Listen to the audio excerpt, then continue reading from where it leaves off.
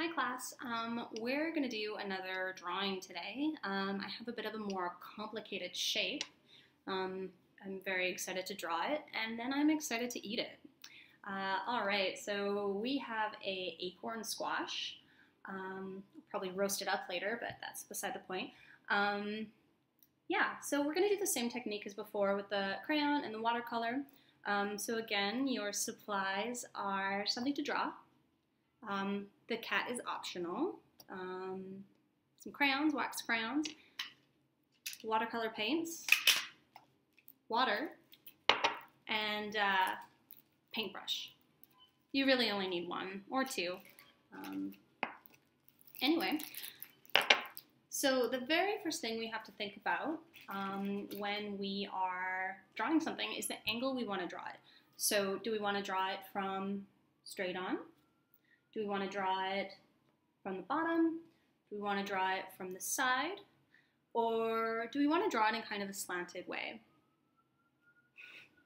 So, um, I think.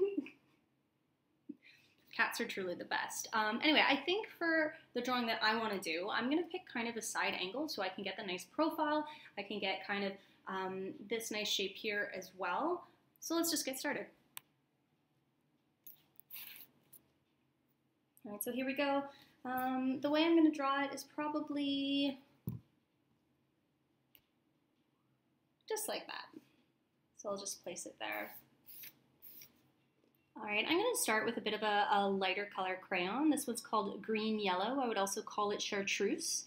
Uh, random fact, fire trucks and uh, fire hydrants used to be this color in the 90s, so it's very nostalgic for me. It's a, a great color. Anyway, so sometimes we want to even try to get the whole shape in first rather than just thinking about the, the segments. So with this color, I'm gonna kind of just draw a circle because I see the acorn squash kind of like a circle. So I'm just gonna draw very, very, very lightly. Because if I press hard and make a mistake, you'll see it in the drawing, which might actually look kind of cool. Like I think a lot of the time when our mistakes come through and uh, they look more intentional, um, they actually are really, as uh, Bob Ross would say, happy little mistakes. All right, so I'm going to kind of darken it a little bit. I see the very back of the squash has a bit of a dimple to it. It's almost like it has a nose.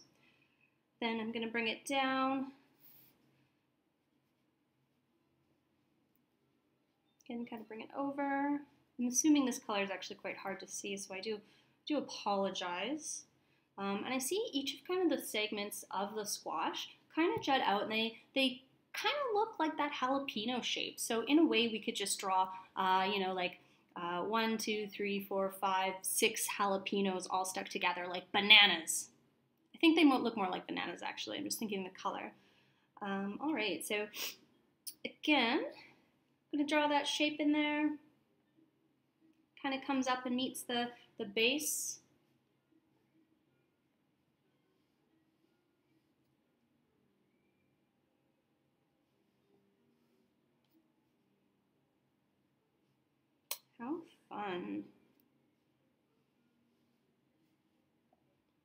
Excellent. I can draw that little stem in there.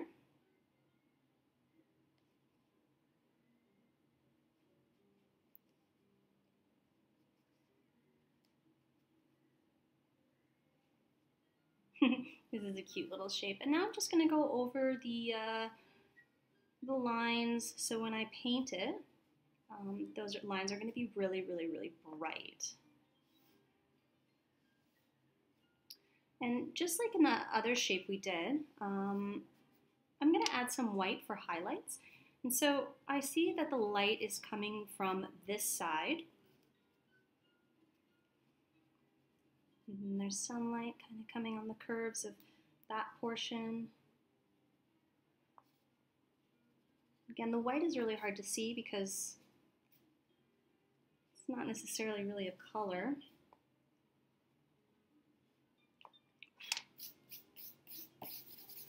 Just some wax residue. And for the shadow, I'm actually just going to use a gray. So it's not super dark, but it is tonally darker than the uh, yellow-green chartreuse. All right, so I see that there's a of bit of shadow here. If we think of shadow, we can think of it in, in the areas that the sun doesn't really touch, right?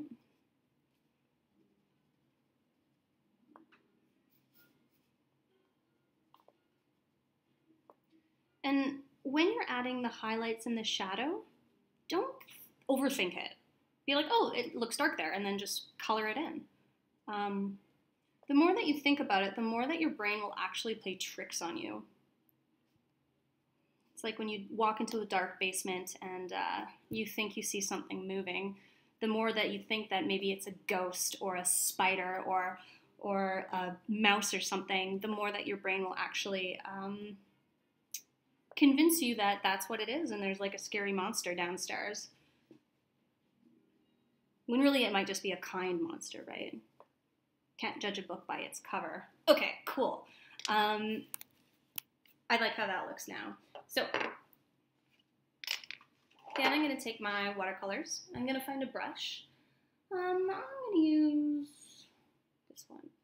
So again, when we're painting with watercolor, um, we just want to give give the paint a sip of water. We don't we don't want to drown it. We don't want to like give it a big like glug glug glug glug glug. Um, we're just going in. We're kind of making sure those bristles of the brush, and these are the bristles, are wet.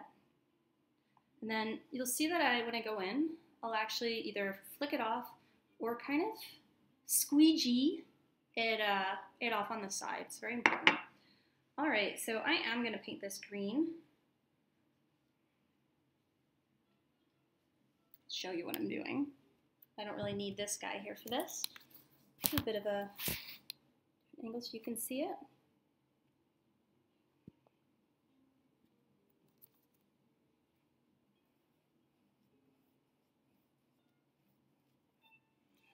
And again, don't be worried if you draw, if you, sorry, paint outside of the lines, because I think it has a really nice aesthetic to it anyway.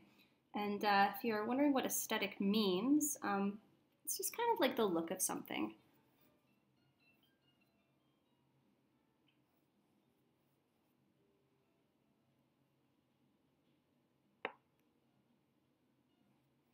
And uh, if you go along with these and start and start painting these and and you have a whole bunch of them um, think of ways that you can display them like or ways that you can use them. Like think is it you know when maybe someone's birthday coming up pretty soon you could use it as like a birthday card or a thank you card or a get well card if you know someone who's sick.